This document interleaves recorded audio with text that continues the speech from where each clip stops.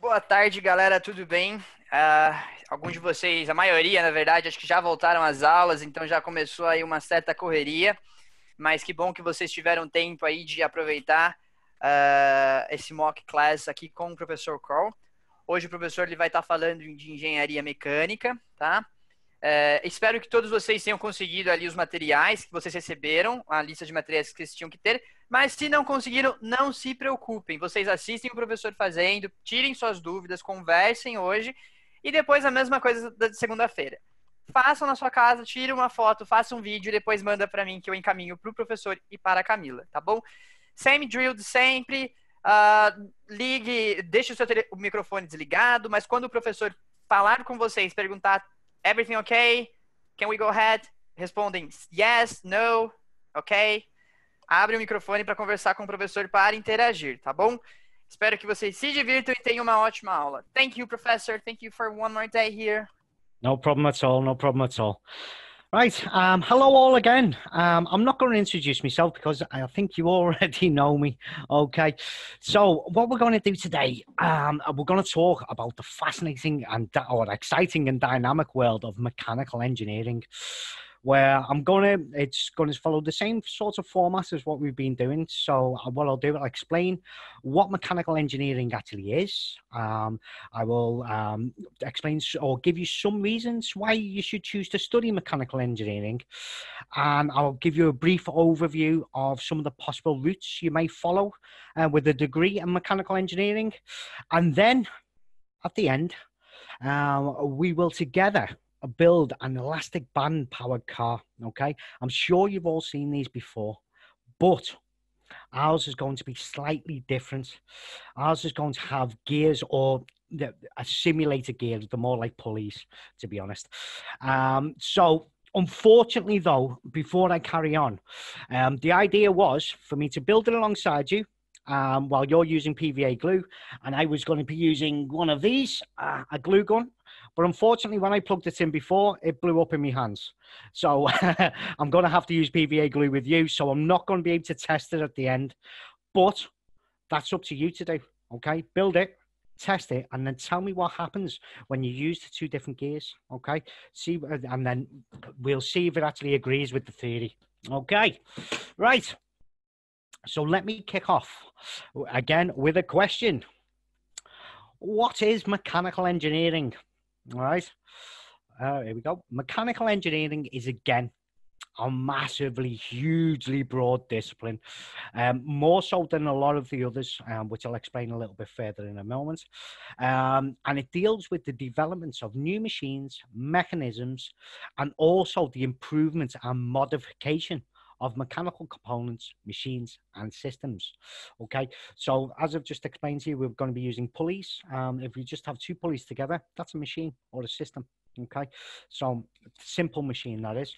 Um, machines are, a, are an assembly of such components as I've just shown you, designed to perform an action or actions such as a mechanical, um, sorry, a manufacturing production line where you'll have conveyor belts. Um, you may have conveyor belts, you may have simple levers and that sort of thing. So, um, this discipline is heavily based in the principles of physics and maths and how they apply to the designing of and development of machines, mechanics, fluid dynamics, and heat transfer, amongst many, many, many others, again, which I'll explain a little bit more in the, further along.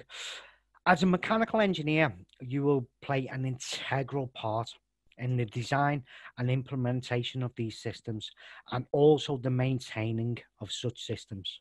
All right. So, why should you choose to study mechanical engineering as a discipline? Again, if you've seen these, um, if you've attended these classes before, the these reasons are very, very similar to all other engineering disciplines, with a slight difference with mechanical. Everything we use um, on a daily basis, an engineer or a mechanical engineer has been involved in its production and this is well, this is more apparent with um uh, with mechanical engineers, as they are integral not only to the designing of new products, but also in the manufacturing processes, as I've already explained. Um, not just if they're involved in the manufacturing production lines and also in the actual designing of the products themselves. For example, this mouse, a mechanical engineer has been integral in the design of that mouse okay? And that's everything that you you you will actually use. Um so um, this is why sorry mechanical engineers are in high demand huge demand. With nearly all countries again showing a skills shortage in mechanical engineering. Um, and in many cases all engineering disciplines as i've already explained. And again this basically means there is not enough mechanical engineers for the jobs available um, this is even more apparent with female engineers. Um, there are nowhere near enough female engineers. Okay, so we need more. It's my mission in life to get more female engineers. Okay, this means you're going to have an excellent chance of finding a job um, in mechanical engineering right out of university, and in some cases even before you leave university. Again, I've already explained this with um, in, in our other classes. Um, a lot of um, my uh, my friends in university were all taken on before they even left, and that's even um, true with myself. Um, okay. Uh, mechanical engineers enjoy high starting salaries. Um, it is um, all uh, all engineering um, um, jobs are know, very very high paying, a lot more than many of the others. Okay, and again, this may not be your main reason, um, but again, we need more money. Uh, we need money to live. Okay, so it's really, really important. Starting salaries for mechanical engineers are among the highest for any university degree. In fact, starting salaries for mechanical engineers is up to £30,000 with a bachelor's degree, rising to 39000 with a master's. And this is, again, only a starting salary, and this will increase substantially with experience and also with continued professional development, i.e., um, uh, you will never stop learning. Okay, um, while you're in the job, you will be learning new skills continuously, and your money will or your salary will increase with this continuous learning. Okay, um, um this is a major, major point for mechanical engineers. Mechanical engineers are multi skilled Okay. Mechanical engineers are often referred to as jack of all trades. This is due to the massively varied and diverse roles available within mechanical engineering. Mechanical engineers are integral to day-to-day uh, day-to-day society and involved in both the designing of and manufacture of all products we use and also in food production amongst many, many others. Um, with the roles in mechanical engineering being incredibly varied and diverse, mechanical engineers have working knowledge of computer applications, electrical engineering, structural engineering, mathematics, and physics. In addition to this, mechanical engineers are required to have knowledge of social, environmental, and economic factors. So, again, massively diverse field mechanical engineering massively diverse. Um, uh, for example manufacturing production lines keep using this as an example but it's ideal. They are not just mechanical in nature they also have electrical components electronic components sensors everything and a mechanical engineer is needs to know all of these different different aspects. So that's why they are a jack of all trades. Okay global opportunities again the same as any other real uh, engineering discipline. Being a mechanical engineer pri- provides a lot of opportunities for you locally and internationally. As mentioned, uh, mentioned previously, many countries are showing a significant skill shortage in, in mechanical engineering, and therefore there are many opportunities to live and work abroad. And again, some com- companies may even require you to travel around, so you'll be seeing the world while you're getting paid well. Unfortunately, that's not the case at the moment, but it will improve in the future. We've just literally been talking about this. okay, so mechanical engineering helps people. Again, everything we use on a daily basis. A mechanical engineer has been involved in its production at some stage. From the clothes we wear and the food we eat to the cars we drive. Um, therefore, mechanical engineering is built on the idea of pr- improving existing products, the development of new products, and the development and maintaining of production lines where products are manufactured.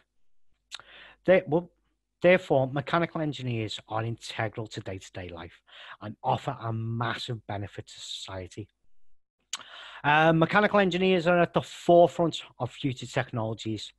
As mentioned previously, uh, well, continuously I've mentioned it, everything we use on a daily basis, a mechanical engineer has been involved in its production at some stage. And there are all there's there there there they are always looking to innovate, streamline, and improve products and processes. Due to this, mechanical engineering is at the forefront of, de- of developing new technologies for a number of industries, including but not limited to manufacturing, automotive, aerospace, and robotics. And these, with these advances in technology and computing power, the impossible is now becoming possible, uh, meaning it's a hugely exciting time to be a mechanical engineer. Okay, so what routes can you take um, in mechanical engineering. Um, studying mechanical engineering will provide you with a taste of the various skills and knowledge required to work in any of the subdiscipline um, subdisciplines related to it or any of the roles related to it. However, if you know what route you would like to take within the main discipline, think about choosing to specialize early on and choose a degree that suits your desired path. But make sure you are sure about what you would like to do. If you're going to specialize, make sure you want to follow that route um, because you will be limiting yourself to that route. Okay. If you're unsure, choose to study the main discipline. You will still be able to move down that route. Okay. So, over the next few slides, I'm going to introduce you to some, but certainly not all, of the subdisciplines related to mechanical engineering manufacturing engineering, right? I've said manufacturing continuously through this. Man- manufacturing engineering is focused on the design and optimization of small and large scale manufacturing processes. The goods um, produced by the manufacturing industry include all consumer items and industrial components from food, the food that we eat, as I've already explained, the chairs that we sit on, the lap, to laptops, TVs. The list is truly endless. And this means a manufacturing engineer can enjoy a hugely varied and diverse, diverse and fulfilling career. As a manufacturing engineer, engineer, you will focus on the development, optimization, and maintenance of large and small scale manufacturing and processes. You will be integral to the manufacturing process and will be responsible for all of the machines and even robots involved in the manufacturing process. Um, I'll just explain that for people who actually um, took the robotic class. You can specialize in robotics with man, um, mechanical engineering as well. But however, you will focus mainly on the mechanical elements. Okay. Um, typically, the role of a manufacturing engineer, a manu- uh, manufacturing, I'll speak properly now. Typically, the role of a manufacturing engineer is in the managing or supervising both of both the production processes and maintaining of the equipment. However, a manufacturing engineer will also be involved in quality control, as this is a major indicator to a fault in the production line accuracy um, the manufacturing engineer will also be responsible for the production of standard oper- operating procedures or SOPs or instruction manuals for operatives to follow.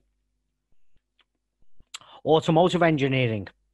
As the name suggests, automotive engineering is solely dedicated to the vehicle manufacturing industry. Due to um, a huge focus on environmental and safety concerns, automotive engineers must produce vehicles that are safe and have the least impact on the environment. But this must, uh, must be coupled with keeping the costs down to a minimum as to ensure they are economical and affordable to buy. For example of this, it's pointless um, putting um, making cars that are um, massively safe and environmentally sound if they cost too much to buy because um, nobody would actually buy them because they cost too much. There you go.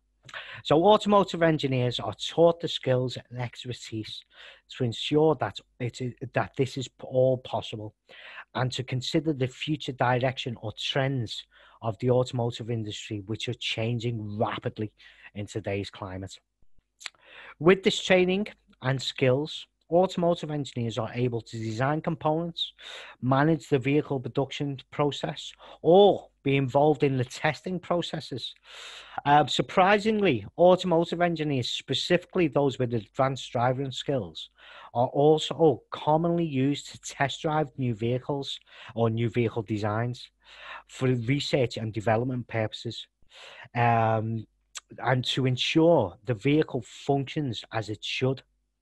The reason for this is, as an automotive engineer, they have a deep understanding of every element or component and therefore are in the best position to identify even the smallest fault with an unskilled uh, which an unskilled driver or a driver without any uh, mechanical skills uh, would miss and can give uh, and they can give input on how the fault can be fixed which again an unskilled driver an unskilled driver wouldn't okay aerospace engineering um, aerospace engineering advances the technology and designs of aircraft and space vehicles.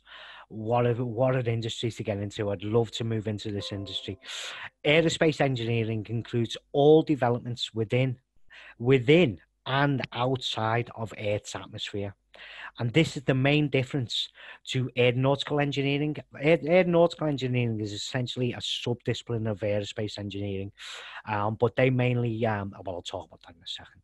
Um, so aeronautical engineering, whose main focus is in the design, development and maintaining of both civil and military aircraft, so within the Earth's atmosphere. Aerospace engineering is again a hugely varied and diverse discipline where aerospace engineers can specialize in the design and development of a number of vehicles, including, but certainly, certainly not limited to, rockets, missiles, space stations, and yes, even, even aeroplanes. Okay. The design and simulation of these advanced vehicles and systems is an essential part of the process. And there's a common application in aerospace engineering. Uh, the engineer does not, essentially, the engineer does not want the vehicle or components or system to fail while it's orbiting five miles up because it'd be nigh on impossible to fix. Okay. Due to this, graduates of this discipline are extensively trained um, to use numerous software packages to facilitate in depth simulation. Okay. Right. Okay, now on to the interactive demo. Right, again, we're going to use, um, oh, we're not going to use our friend Tinkercad. Um, um, again, we're going to actually make an elastic band powered car with a difference. Our car is actually going to have a gearing system. Um, they're not actually gears, they're actually made, gears have teeth, pulleys don't. Okay, so that's the difference.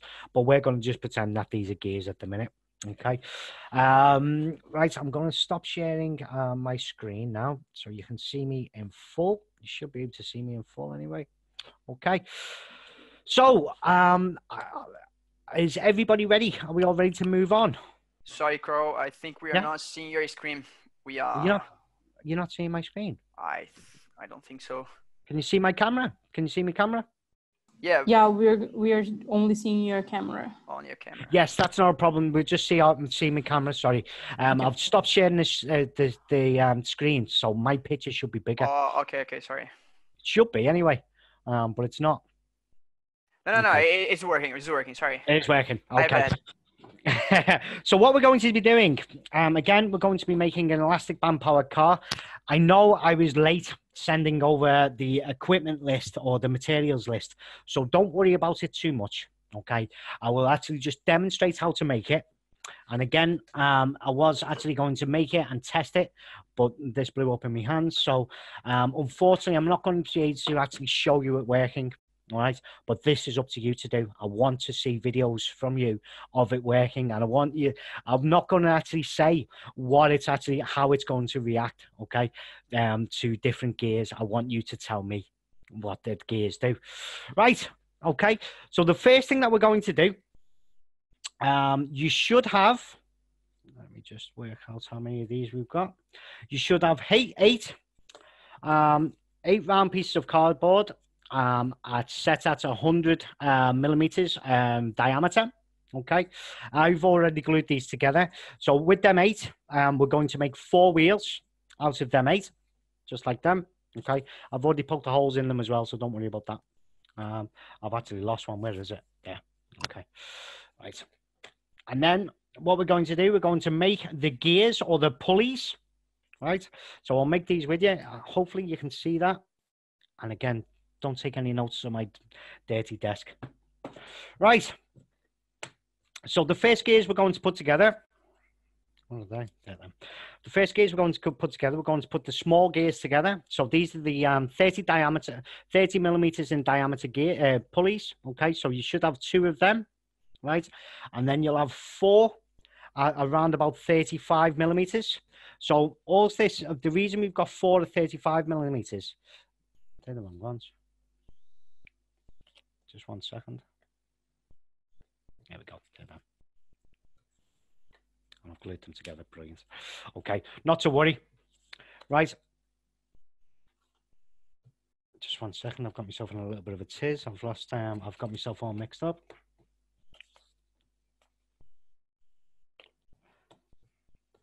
Right. Okay. So what we're going to do, we're just going to glue these together. Okay, so we'll start we'll start with the big gears because I don't know what I've done with the little gear stuff. There we go. There's three of them. That's four of them. Okay, one second. Here we go. I'm all fingers and thumbs today. There we go. Right. Okay, so we'll start putting the bigger gears together. Something's gone wrong here. I'll I'm actually looking for something and it's in my hand, which isn't um, which isn't good, is it? Right. So we'll put the bigger gears together. So you'll have these, which were let me just double check the sizes on them. It's actually on here.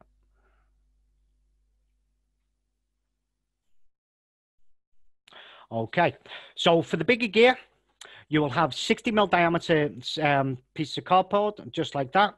And then you will have four 70 mil diameter um, pieces of cardboard like that. Let me just open my zoom back up again so you can see me. Okay. Um, and then what we're going to do, we're going to glue these together. Okay. So on the smaller part of the gear, which is this bit, okay, the 60 millimeter, um, just plenty of glue. One side, can you see what I'm doing? Yeah. These um these are uh, much harder than using the Tinkercad um, because I'm actually demonstrating while I'm trying to talk, which isn't good. Okay, so we've glued that side. You've got your bigger pulley, which basically just stops the elastic band from falling off. What we want to do, we want to put that directly in the center. Don't worry about it if it's not perfect because we can we can get around that.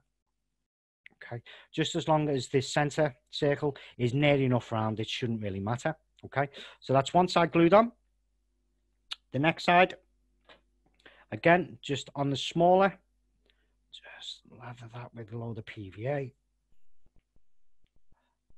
And as you can see, I couldn't find a paintbrush earlier on because we are going to use it, um, a glue gun. So I've nicked my daughter's eyelash uh, eyebrow um, pencil, which isn't, she's not going to be happy about when she finds out. There we go. And then we're just going to sandwich that together. Again, try and keep it nice and centered. There we go. And that's our first large gear or large pulley. Okay. And then we're going to repeat that step for the next one.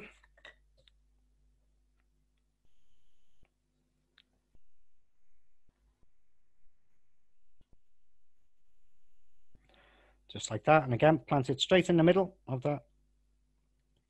There, like that. So you go. So Just plant that straight in the middle of that. And again, we're going to do this on the outside of this one.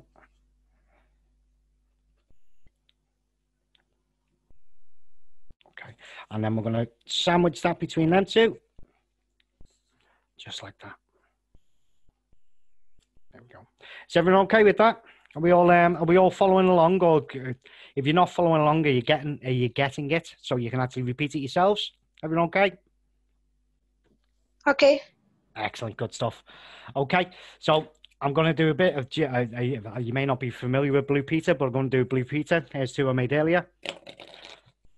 Okay, and now what we're going to do, we're going to repeat that stage for the smaller gears. Okay, so you're going to have your 30 mil diameter, um, small 30 mil diameters, and then you're going to have four at 35 mil, just like that. And again, we're just going to repeat this process. Oh, glue everywhere. There we go. And then again, small, plenty of glue on there. And we're going to plant that directly in the center.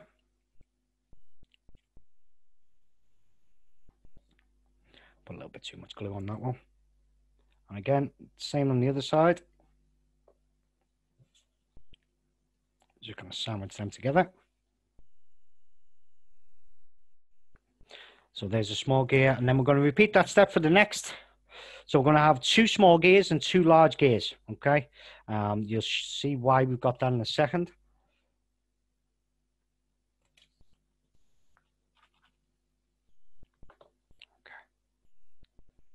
And there we go. So there's our gears.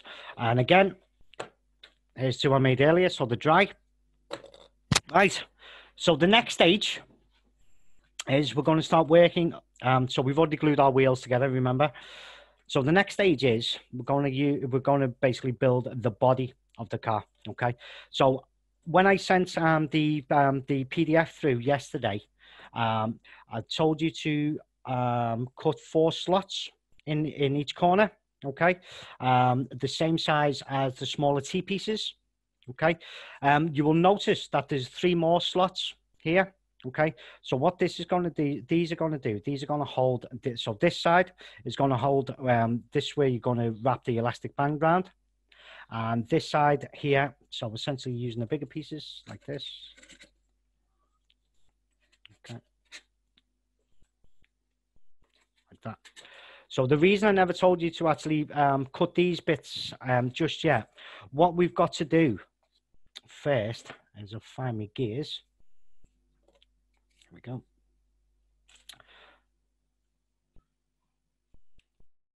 Just, here we go. Let me just get this elastic band off now.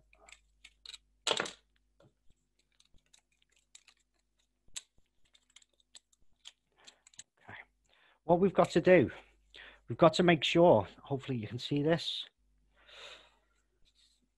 These are going to be positioned so the elastic band is actually in tension. Okay, so the large gear, hopefully you can see that. Can you all see that? Is everyone okay? Can you see that? Yeah, now it's more clear, Carl. Yeah, excellent. Okay, so essentially, this is going to be on the axle. This gear is going to be on the axle, just like that okay, which will basically sit under there. So we need to cut these bigger slots so the elastic band is in tension, okay, just like that. All right, this is going to be different um, depending on the size of your elastic band. So just make sure that it's actually um, under tension when you're using it. If it's not under tension, it will not spin when it's supposed to spin. Okay, so what we'll do First of all, let me just grab one of the wheels. So what we're going to do first, we're going to set up the axles. Okay, so this is going to be your rear axle. Okay, so first of all, we're going to poke a hole through your wheel through your wheels. Let me use one of these so you can actually see it. So you should have a center mark from where you've actually um, drawn the wheels using your compass. Okay, so you can use just a sharpened pencil. I've actually got a utensil for it. So first of all, just push through. So you've got a hole all the way through it. And then using your scissors, just push in and just expand the hole out, just like that. Watch your fingers. Watch your fingers, yes, yes, watch your fingers. So just expand it out just like that, just so your pencil, remember this is going to be a wheel, so your pencil needs to be really, really tight in there, just like that, okay? So again, I've, I've already prepared this earlier. Just like that. And then with your smaller, your smaller T pieces like this, these get pushed through each corner.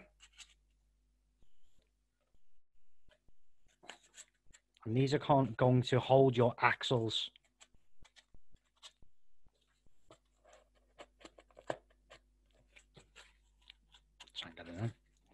There we go. Just like that. Okay, so you push them. You push these three through. This is going to hold your, these three are going to hold the actual drive, the drive train they call it, or the drive system. And then these four, these four are going to actually hold your wheels. Okay, so first, we just poke your axle through, just like that. You will get a recording, uh, hopefully you'll get a recording of this, so you'll be able to just follow along. Um, because I know some of you might not have the equipment there. Okay. Then what we're going to do, we're going to put the large gear on. Is that the right one? Yeah. Just like that. And then the smaller gear as well. So you're going to have two gears on the rear axle.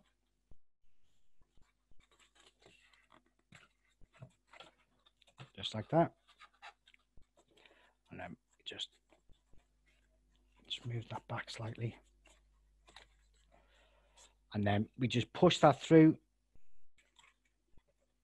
just like that. It's a little bit stiff, but that's what we want. There we go. Okay. And then once we've done that, we just put the other gear or the other wheel just on the other side like that. All the while, we're going to be gluing these pieces together. Okay. So once it's actually in there, if we just pop a little bit of glue on the outside, just around the pen, so just push it on slightly more, just like that. Put a load of glue around the pencil itself, just like that.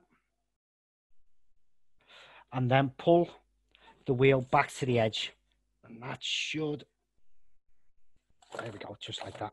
And again, we'll repeat that for the other side.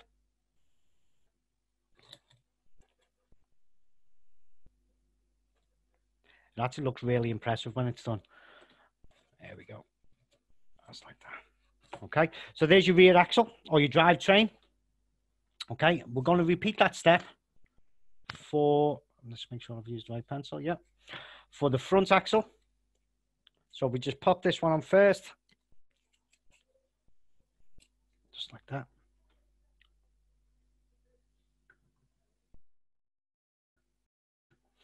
loads of glue, plenty of glue on the pencil. And then we just push that further on. And that should just stick together. And then we'll push that front axle through there and then through the other side just like that and then we'll pop the other wheel on the other side And again, make sure you glue that up.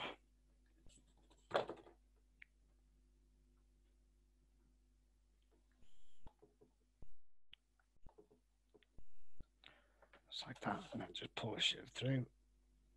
There you go. Okay, so we're getting there. Um, also, once um, once the axles are all in place, just glue the um, glue your T pieces up, or small T pieces up as well um, just to make sure that they don't push out on you because they will push out if you push down on it. So just glue them up and then just fold that flat part over and then hold it until I won't hold until the glue's gone off, but essentially that's what you need to do. Make sure that they're glued in place. Same with the front.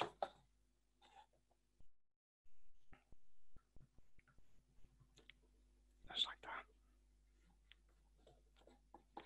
that. Um, do not glue the um, the bigger ones, the bigger T pieces in place until everything is actually on. Um, everything's already connected up to it, otherwise it won't work.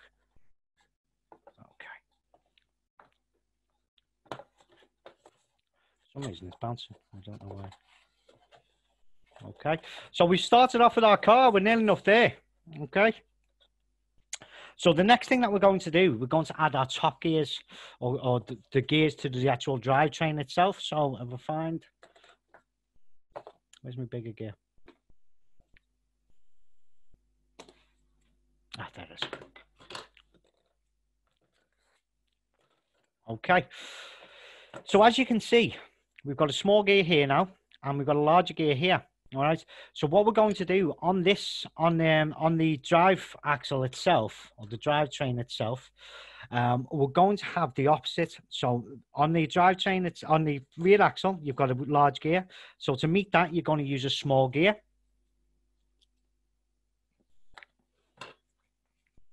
And then for the smaller one, you're going to meet that with the larger gear. Just like that. Okay. And then again, we just pop that one out for a second. We just pop that through there. Oh, let me stop there a second. We forgot a really important point. Um, the pin that I said try and get hold of. I've just lost mine down the gap in my desk. Brilliant. Okay. This pin, okay, if you can see it, this is what's going to be used to actually catch the um, the elastic band. So it's actually going to hook the elastic band like that for you to spin it around. Um, again, be massively careful with this part. Okay. So what you're going to do, you're just going to push it into the pencil just so it's stuck and then just push down. If you can see that, push down on the pencil, on the pin, and it should just push right through pencil just like that. Is everyone okay? Are we all um, are we all following along? Okay, okay. Okay, good stuff, good stuff. Okay. So just like that, again, just be very, very careful and don't. Um, you've just seen the way I've just pushed it down like that. If you do that, um, make sure you've got something underneath it. Okay, don't um, don't um, wreck your desk. All right, mine's already wrecked, so I'm not really that bothered. Right.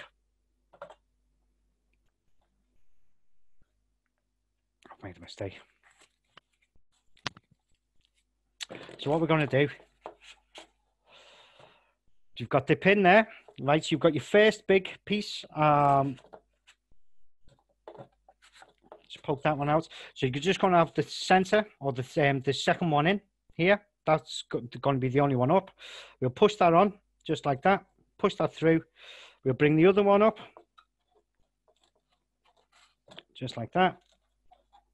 And then that should push through there. Yeah. Okay, just like that. Then we'll put our gears on. So we need the larger gear first, which goes onto the smaller gear here. I'll find the elastic band before I do that.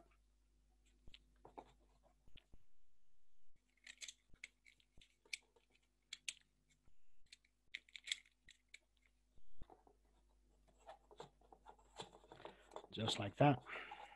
So that's going to meet the smaller gear.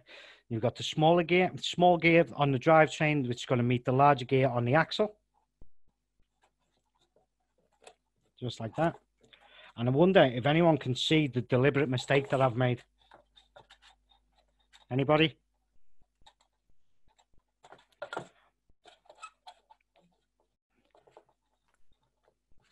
Alguém conseguiu enxergar aí o, o erro que o professor está falando? I've uh, I forgot to actually hook the elastic band over here. So what I'll do, I'll just whip that off a second.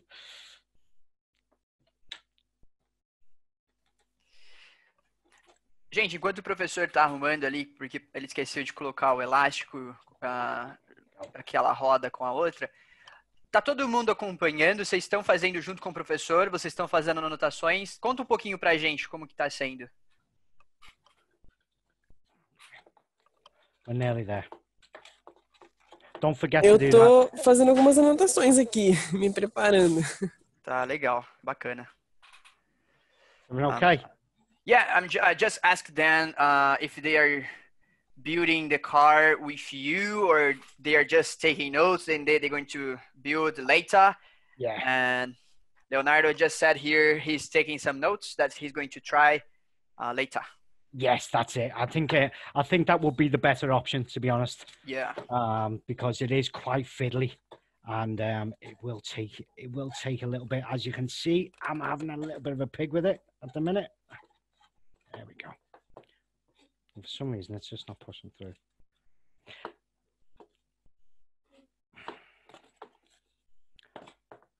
For some reason, the axle's not moving through. There we go. Lovely. Okay.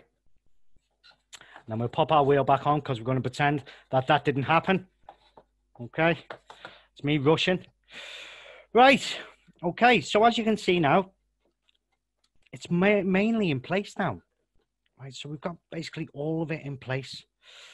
Right. And as you can see, if I just hook these gears up now, hook our pulleys up like that. Just like that. As you can see, if I spin that now, it's very tight for some reason. I don't know why. Just one second. This is where this slot that you cut in, you may have to move this around a little bit. Just so the gears doesn't doesn't rub. There we go. That's better. There we go. You wouldn't believe that I've actually built this about 15 times. There we go.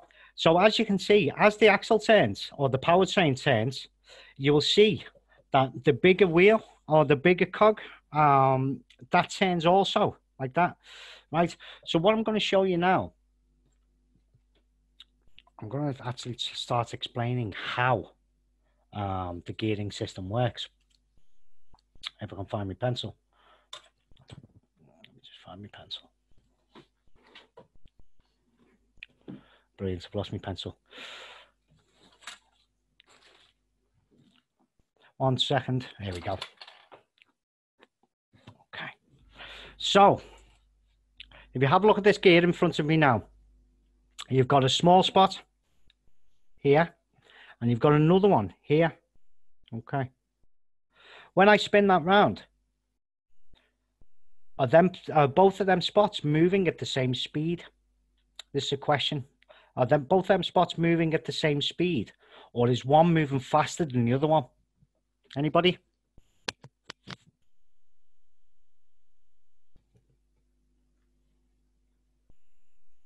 Anyone? think, Professor, Yes. I don't know if it's right, but I think that the the bigger will get a bigger time to make a complete. Um, I don't know. Well- I forget the word. But But both, well, uh, you're very, very close. Both of them are moving um, in the same time. Okay. But this one here, this one here is moving a large, a greater distance than this one in the same amount of time. Okay. So in reality, the top mark here is actually moving faster than this one here. Okay.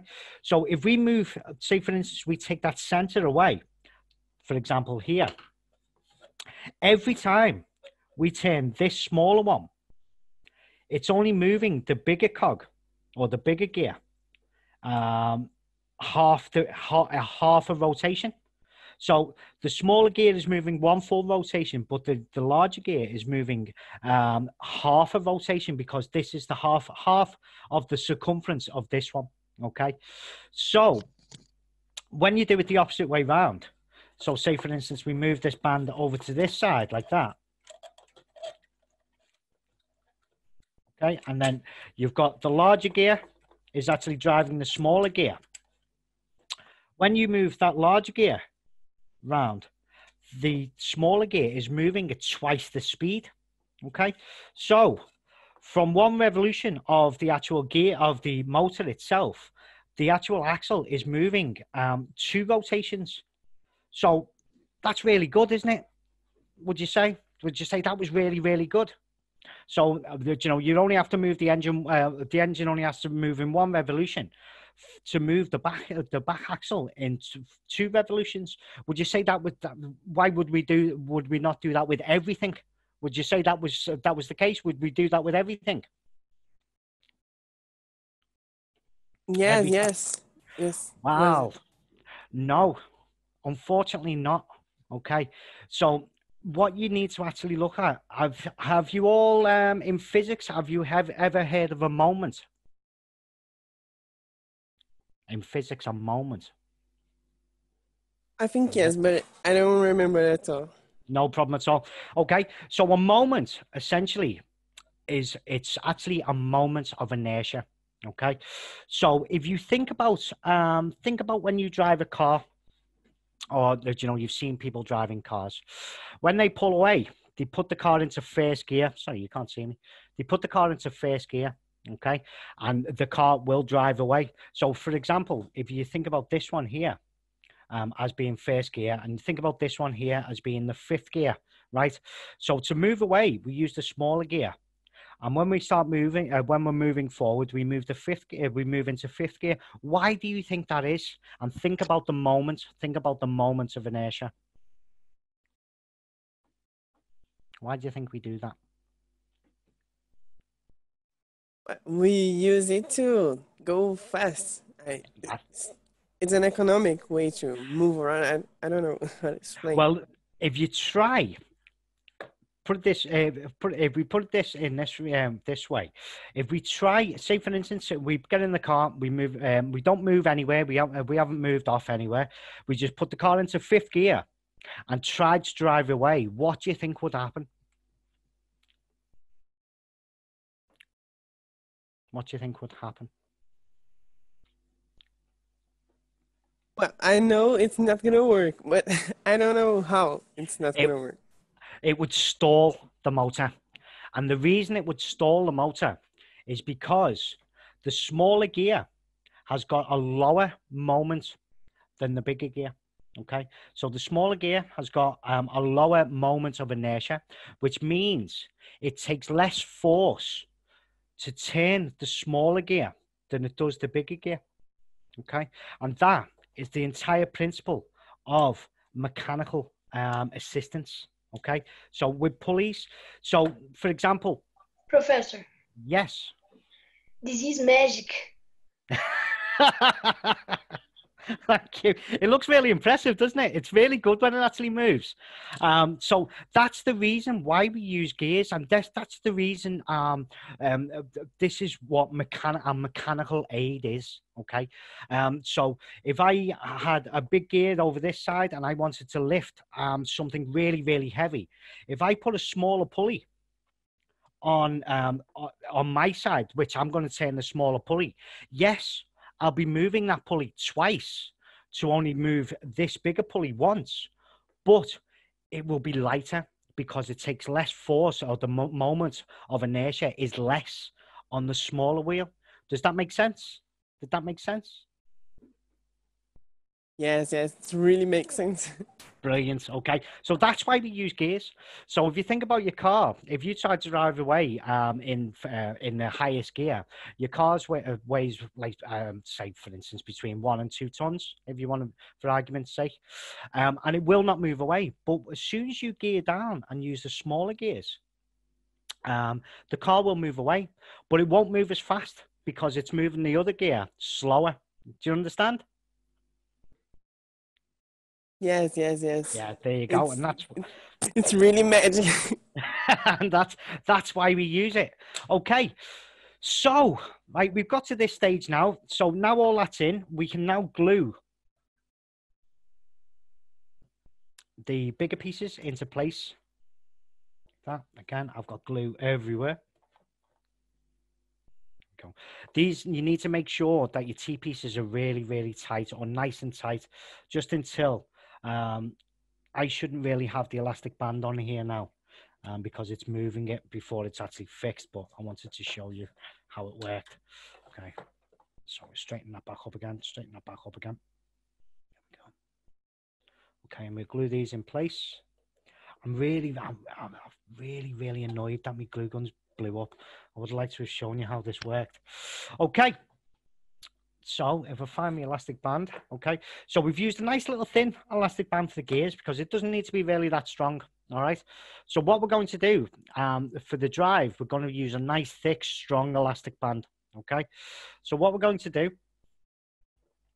this elastic band needs to be in tension. Okay. So when you're actually setting it up, even without hooking it onto there, it needs to be in tension. Okay. If it's not in tension, if it's quite loose like that, as soon as you get to the end, it'll just it'll just ravel up, it'll just unravel. Okay. So it needs to be in tension. So what we'll do. Sorry, Carl, can you just pull your camera a little bit down? Yeah, sorry. I'll, No, that's okay. Thank you. there we go. Right. So as you can see, the pin that we've used here, all right, that is what's going to be used to actually catch the elastic band. So we just hook that on there now. Again, because I'm not using the glue gun, it's all moving out of place for me, which is fantastic. So we know that's under tension now or under some sort of tension. Like that. So I can see that the hole needs to be around about here. So if I just poke that hole in there, again, just watch your fingers when you're doing this bit. There we go, just like that. And I'll just pull that elastic band through. So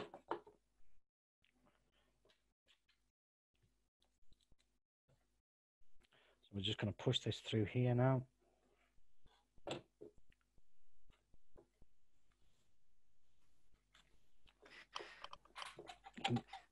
Professor, you- before you, Yeah. you you conclude this, um, for example, do you, do you remember? I don't think they'd remember, but when I was a, a kid, Yeah. uh, do you know the toys cars that you can pull back, and then when you relieve, they go by themselves?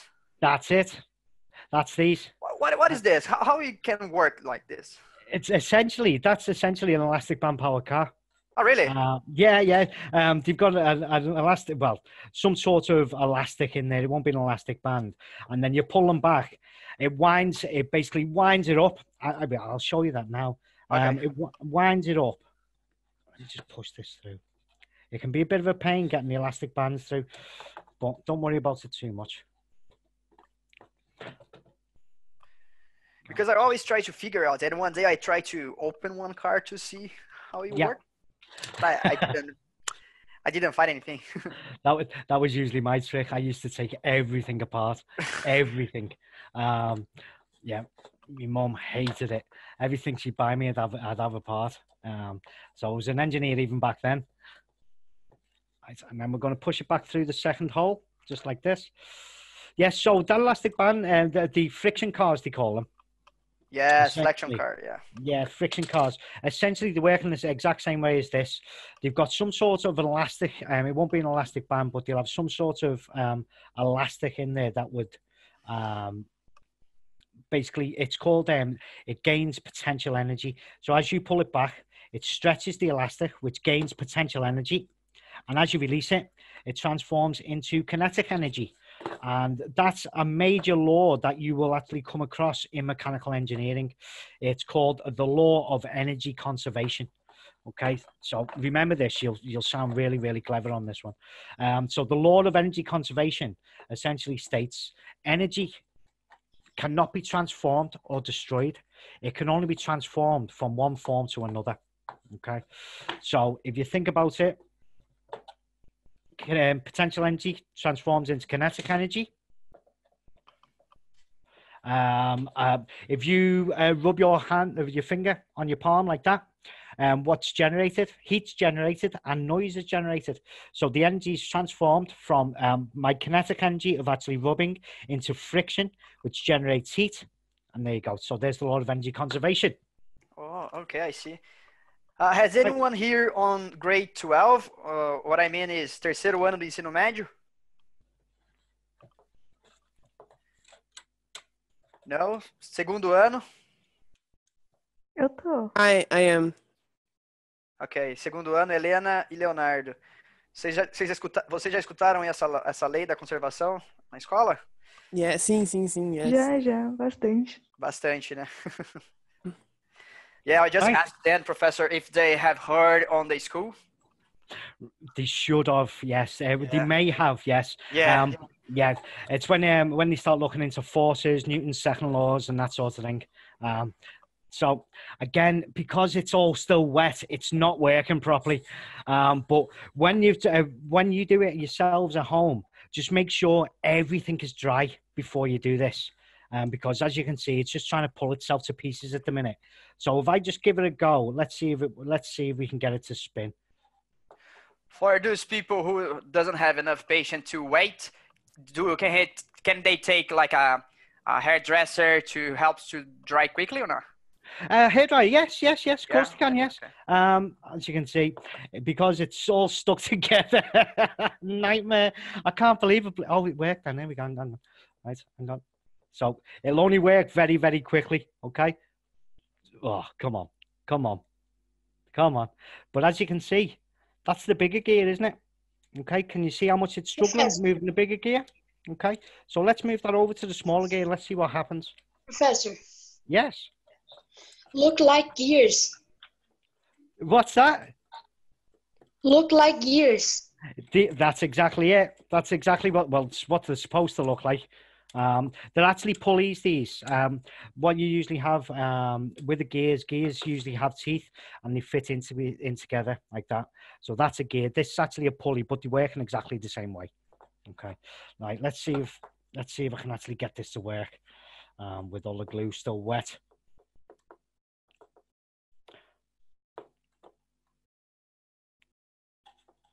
There we go. So let's wind this up now. It's going to pull itself to pieces. Right. And let's see how fast this spins now. See how fast it spins? It's actually got hold of it. So with the bigger, with the bigger, with the bigger gear, it struggled to move it. But now we've got the smaller gear on there. It should just move nice and. Can you all see that? Yeah. Um, obviously, again, because the glue's still wet, it's not going to spin properly. But if I let go now, so really, really quick, so you can see that it spins really easily. If I put it onto the bigger gear again,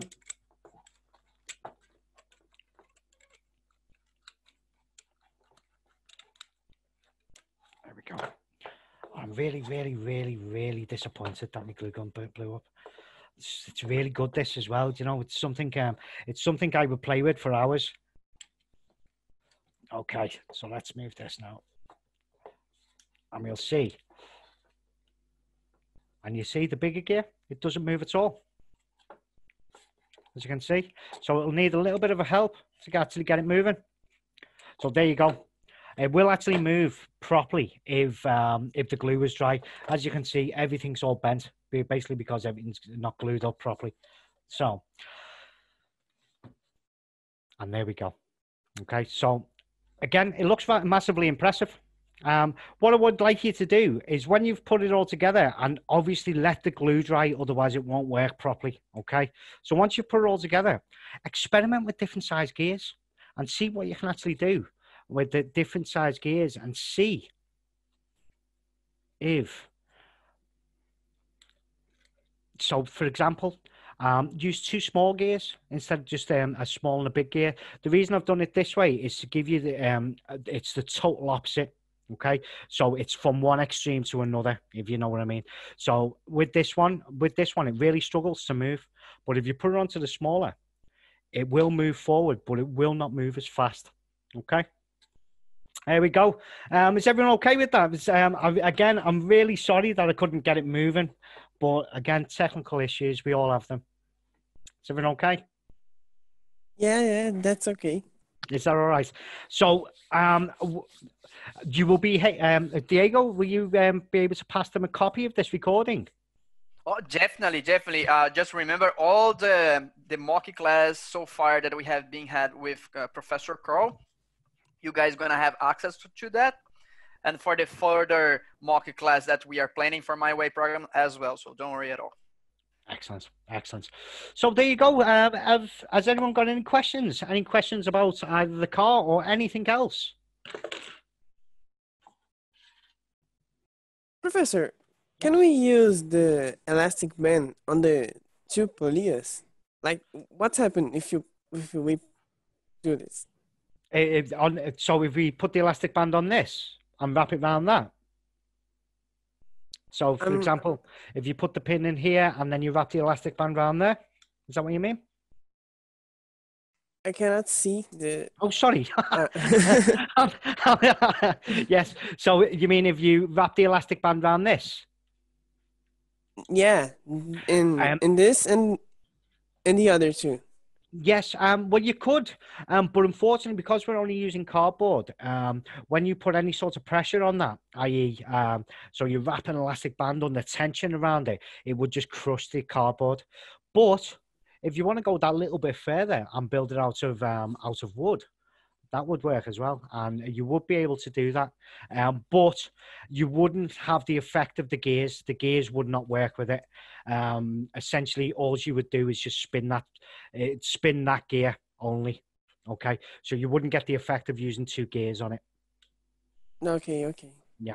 Thank you. Um, but again, when you build it, I me just spinning this with my with my hands, I can actually feel the difference in the force needed. Or sorry, not the force, the inertia, uh, the moments of inertia needed to actually turn it. I can feel the difference just with my fingers, um, just working with my fingers. So um, it does work, and hopefully you will get it working properly, better than I did in this short amount of time. Um, so, any other questions?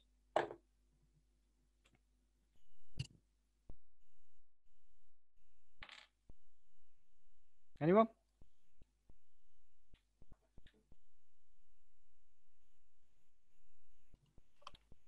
I think they are trying to figure out how this magic happens, even though you explained. They don't believe. but again, um, you know, we've all we've all seen elastic band powered cars before, but I thought we're going to take it that little bit further. Why not? And then I can explain something really, really, um, really interesting to you, which is basically gears and pulleys. Um, I love them. I love them. Um, really, really interesting. Um, so um, again, right, okay, and this is our last class, isn't it? Um, so I'm really disappointed, to be honest. I've really enjoyed every one of these. Um, so um, again, I'm available. I'm here. Um, so if you need any help in the future with anything, um, you all know my email address by now. If you need anything from me, if you need any any help with anything, please let me know. If you are putting this car together and you need any help with that, again, just let me know. Um, and I'm here to help. Okay. So thank you all again. Thank you, teacher. I, I would like to really, I'm really happy with, the, with this class. You really helped me with the choice of the engineer prof- Excellent. profession. Thank you. Brilliant, brilliant, excellent. Um, Camila, um, do you would you like to talk a bit, a, a little bit about our um, ISCs in Holland? Yeah, so I would just speak in Portuguese because it's easier. Yeah. No problem. Ah, pessoal, então, é, para os que estiveram aqui na, na primeira aula que a gente fez, né, já três semanas atrás, é, eu sou a Camila, eu trabalho na Study Group. A gente é uma empresa que representa 45 universidades que estão espalhadas nos Estados Unidos, no Canadá, no Reino Unido, na Holanda, na Irlanda, na Austrália e na Nova Zelândia. E a gente, junto com a EFIG, faz esse processo de admissão dos estudantes nas universidades. Então, a gente tenta facilitar o máximo eh, esse processo de admissão para vocês nas universidades do exterior. É, puxando aí o que o professor falou de engenharia mecânica hoje, para vocês que têm interesse nessa área, a gente tem uma opção de universidade que é muito bacana na Holanda. Então, ela chama Hans. É, eu vou passar as informações, o Diego também tem essas informações que a gente consegue mandar isso para vocês por e-mail, mas para vocês saberem, né? Ela fica em Groningen, na, na Holanda. Então, ela está no norte da Holanda, de Amsterdã, né? Da Holanda. É, ele está mais perto da Alemanha do que está necessariamente de Amsterdã. Então, o que, que é bacana? Para vocês que têm interesse nessa parte de engenharia mecânica, de trabalhar com carros, é, a universidade ajuda vocês em processo de estágio, e processo de estágio não só na Holanda, mas também na Alemanha, que tem algumas marcas que vocês devem conhecer, como Volkswagen, a Audi. Então, vocês podem fazer o processo de estágio e serem colocados, né? Porque aí depende de uma entrevista, mas vocês podem ser colocados numa empresa como a Volkswagen para fazer o estágio de vocês enquanto vocês estiverem na universidade. Então, isso é bem bacana porque abre muitas portas quando vocês estiverem lá também e para vocês, depois da universidade, começarem a trabalhar. É, e o legal da Holanda também é que o custo-benefício é muito bom. Então, é, a gente sabe, vocês devem estar acompanhando também a questão do dólar, o dólar está subindo, é, a, o euro ele é um valor um pouco mais alto que o dólar, mas o preço da universidade na Holanda é mais baixo. Então, para vocês terem uma noção, falando assim por cima, né? E aí o Diego consegue mandar essas informações para vocês depois. É, o ano dessa universidade custa 7.700 euros. Então, é, se dividir por 12 meses, que é o que a gente paga aqui no Brasil, vocês vão pagar a mesma coisa, dependendo da universidade aqui no Brasil, mas para fazer uma graduação de qualidade de ensino, às vezes muito superior com as que vocês achariam aqui no Brasil. Então, eu vou passar algumas informações para o Diego para ele conseguir encaminhar para vocês também, mas fiquem com isso na cabeça. Se vocês estão pensando na universidade fora, né, conversa com o Diego. O Diego já consegue passar algumas alternativas para vocês, porque vocês aí, alguns falaram que já estão no segundo ano, né?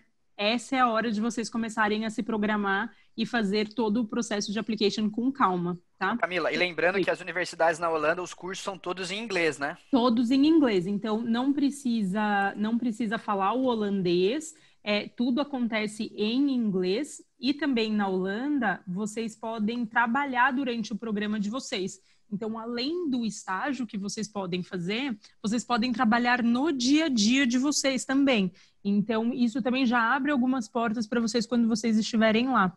É, não sei se alguém aqui tem, mas se alguém tiver passaporte europeu, é, isso também tem vantagens para quem quer estudar na Holanda. É, o ano acadêmico, para quem tem passaporte europeu, custa 2.143 euros. Então, é, é, uma vantagem muito grande em relação a, a, a quem tem passaporte europeu, porque taxa, paga a taxa de alunos locais. Eu mandei aí no chat, vocês devem estar vendo, tem o meu e-mail também. Se vocês tiverem qualquer dúvida em relação ao processo seletivo ou alguma universidade, pode conversar com o Diego, pode conversar comigo também. A gente vai, ajuda vocês nesse processo e separa uma lista de universidades para vocês conseguirem pesquisar também é, a questão de ranking e do, e do curso que vocês querem fazer. Muito bacana. Então, tá vendo, galera? Tudo que vocês tiveram contato aqui com o professor Call uh, dentro das mock classes do programa do My Way, é... eu acho que é uma, uma grande oportunidade que vocês têm aí. E já vi muitos alunos construindo a ponte de palito, esse carrinho, quem está querendo fazer engenharia mecânica, isso é fundamental para o portfólio. Então, gente, construa em casa o vídeo da segunda-feira, façam o experimento, mandem para a gente, manda para mim que eu mando para Camila, a gente vê aí o que, que a gente vai conseguir de bolsa para vocês. E não é porque vocês estão no segundo ano que ah, tem mais um ano aí para pensar. Vocês podem já começar a se preparar. Não só a galera do segundo ano, mas a galerinha que está aí no nono ano também, melhor ainda, porque já tem mais coisa para começar a trabalhar e pensar. Tá bom? Obrigado, Camila. Obrigado por, por, por, essa experiência maravilhosa. Thank you very much, Professor. Thank you very much to, to join us in this week. It was an amazing experience. I'm glad. I'm glad you expect uh, you enjoyed it because I uh, I really really did. I really enjoyed it. Um, again, hopefully hopefully we can do more in the future. Oh, definitely, definitely. This um, just going to say this program uh, is not going to stop. We're still going to mo- do mock class, and if you want professor to propose another mock class, just let Camilas know, and then we can arrange another's. Okay. Um, is anyone interested in computer science? Anyone interested in computer science at all? Actually, I kind of am. okay. Well, I'm actually developing um, uh, another one, uh, uh, basically another class like this, where you can build your own um, mobile application. So basically, Ooh, a game that you can launch on your own Android device. So um, as soon as that's finished, I will let you know, and we can do that together. Amazing. That's fantastic, Professor. We, we're still going to do this. I'm just going to tell the students we won't stop. Uh, that's just the beginning. So, but thank you very much so far for this magic that happens every happens every week. no problem at all. No problem.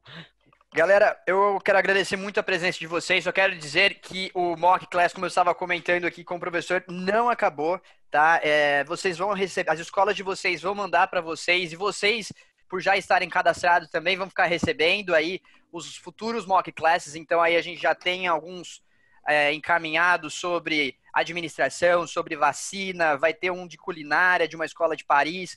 Vai, vamos torcer aí para o professor Kroll estar de novo com a gente aí falando sobre ciência da computação para ele ensinar a gente a desenvolver esses aplicativos de celular.